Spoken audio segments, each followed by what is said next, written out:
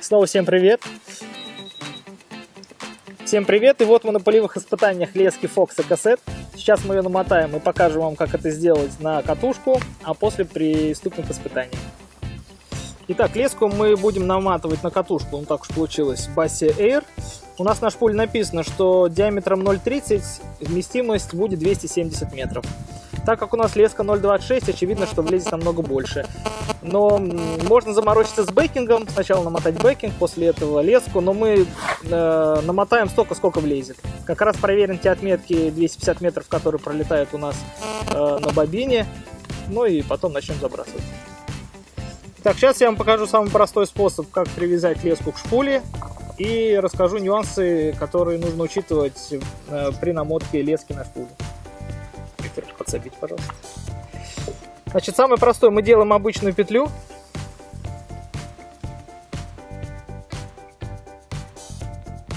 Вот. И на кончике этой лески завязываем еще один такой маленький узелок. Это будет наш топорный узел. Лишнее отрезаем. Открываем дужку. Продеваем через Самое толстое кольцо.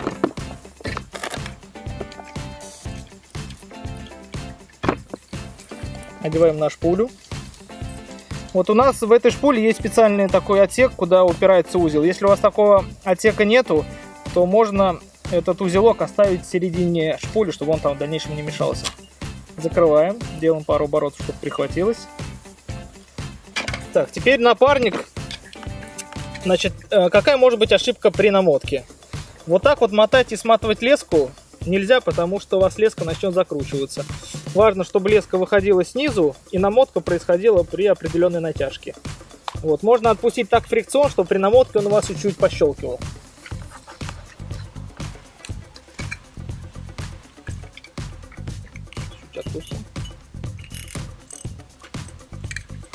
Вот мотаем такие чуть-чуть одиночные щелчки у вас происходят. Ну и мотаем. Через 250 метров должны увидеть стикер.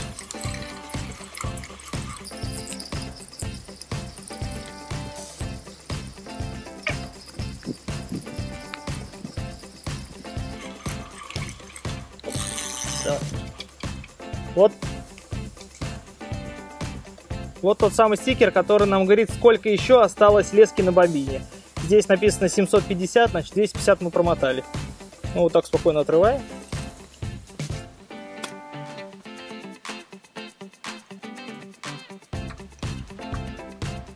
Мотаем дальше. Сейчас по мере заполнения шпуль я потом покажу, сколько нужно наматывать лески, чтобы это было правильно.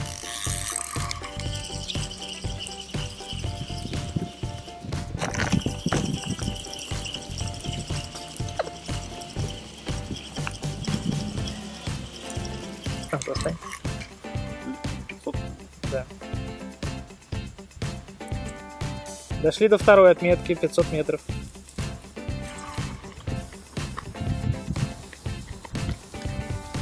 Все.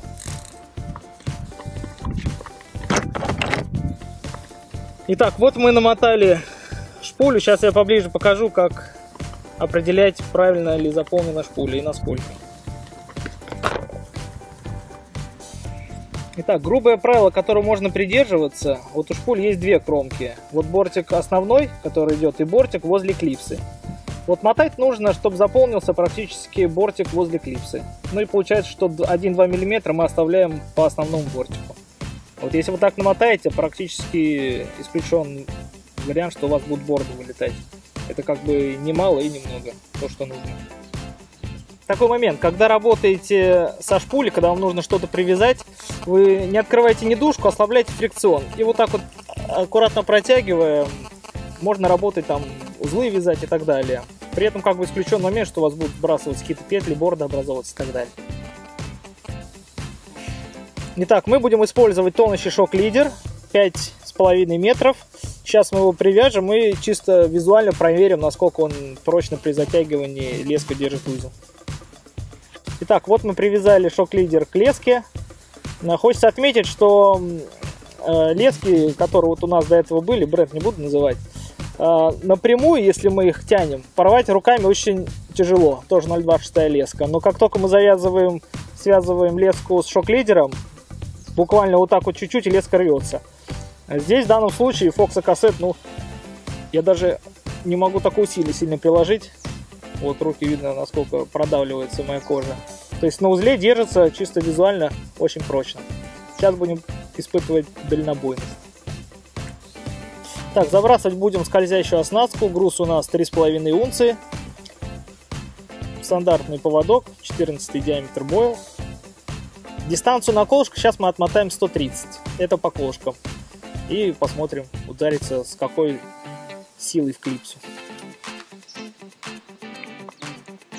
Дистанция 43,1 у нас на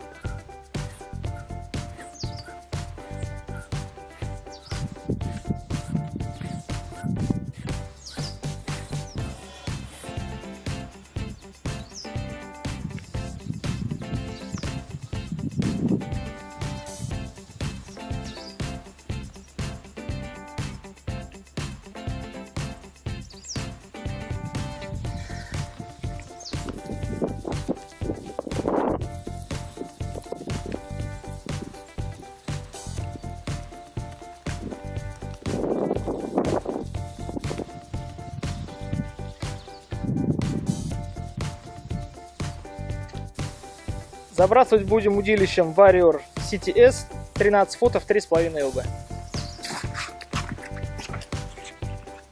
Видел выход веров? Проверяем, чтобы фрикцион был затянут.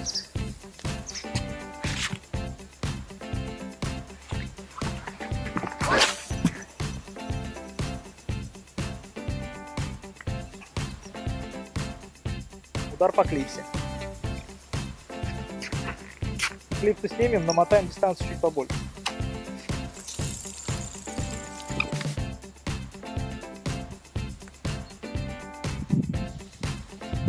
Сейчас мотаем дистанцию 135 метров. Расстояние между колышками ровно 3 метра, это 45 витков.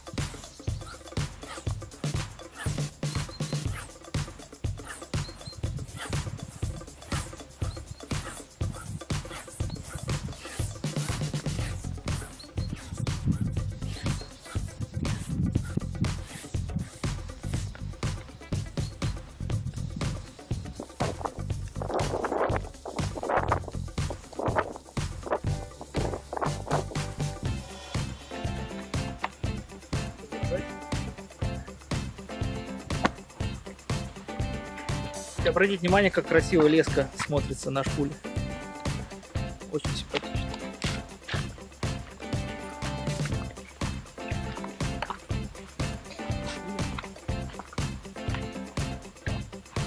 Трафон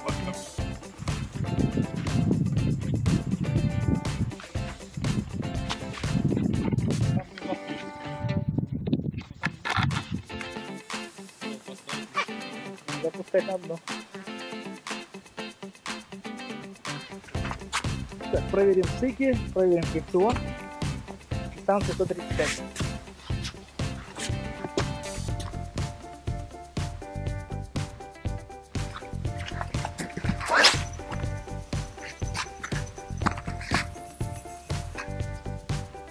По клипсе. Снимаем клипсу, прибавляем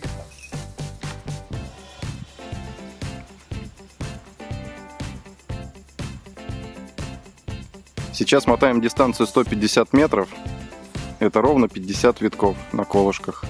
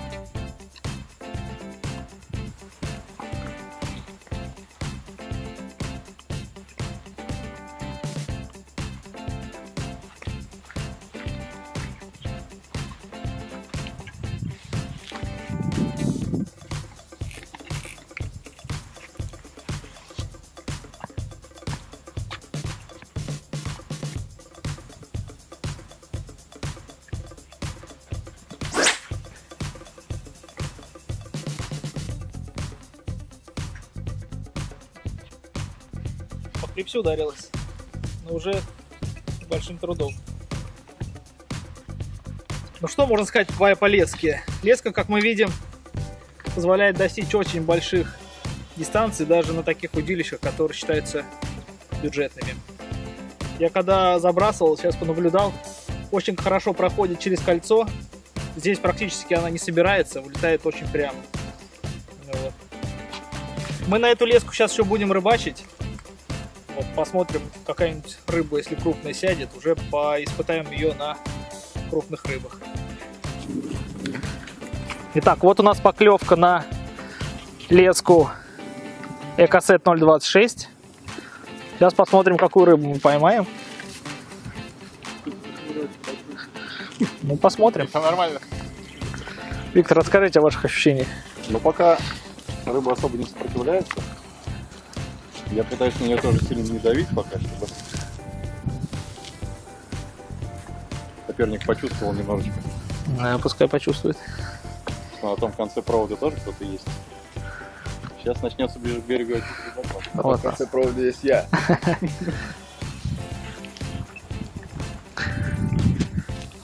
Ну-ка, снимем Fox Warrior, как работает.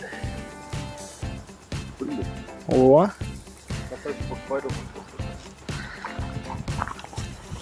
Шланг срабатывает.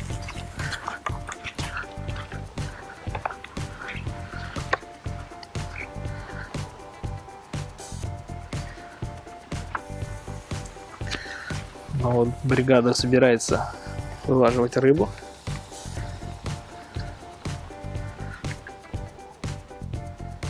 Какие ощущения по леске, Виктор? У нас там Амура. Это сейчас будет фестивалить возле берега. Это Амур. Хороший Амур.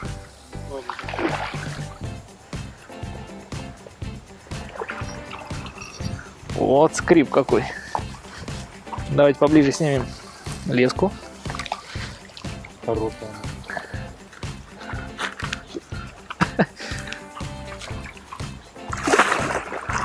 О!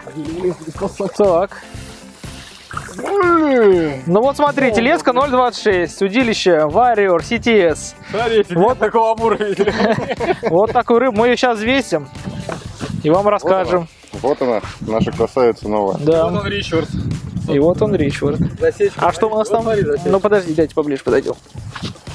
Ты высушил? Ну, амуры губы сами представляете какие, да? Ну, она на классической засечке. Тихо.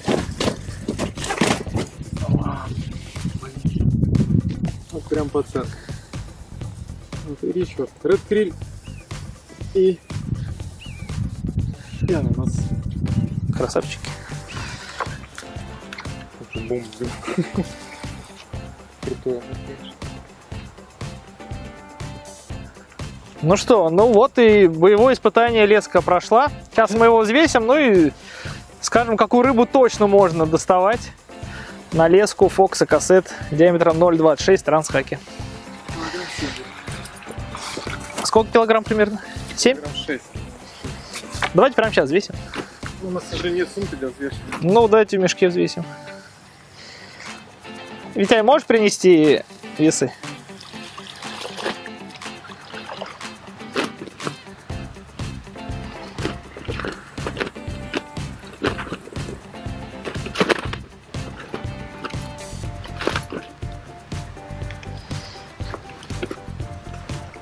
Мы еще килограмм отнимем от мешка, да? Да, 500. Ну, да, плюс-минус. Вот они сейчас самые супер удобные крючки, которыми мы так Да. Вот, принципе, Вот давайте я покажу на удобство мешка. Вот у нас Да, тут уже одна рыба есть. Подошел, кольцо одел и все. сейчас это покажем. Ну-ка. Вот, собственно, то самое кольцо, вот здесь карабинчик, который препятствует тому, что... Я вам хочу напомнить, как у нас рыба ушла из мешка здесь ровно год назад. Я думаю, что с этим мешком таких проблем у нас больше не возникнет.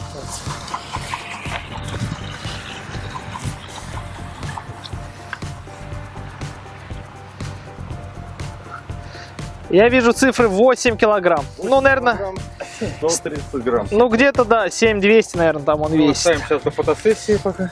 Да, ну-ка, одевайте только мешочек. И вот те самые мешочки, вот у вас есть штанга. Вот. Вся рыба спокойно себя чувствует. Штанга стоит устойчиво, никуда не денется. Ну все, я вас поздравляю. Шеф, Я вас поздравляю. Этот что-то бокий какой-то. Да, ты, блядь, сними не так просто. Да этот уже просто, блядь, валяется здесь два часа. Бомба. Да, это здорово, конечно, блин. Ну-ка. Завесить его сейчас будет. Вот такие красавцы в улово водятся. Это вот у нас девяточка с половиной. Это 11 килограмм. Блин, карп очень красивый. Бомба. Просто класс.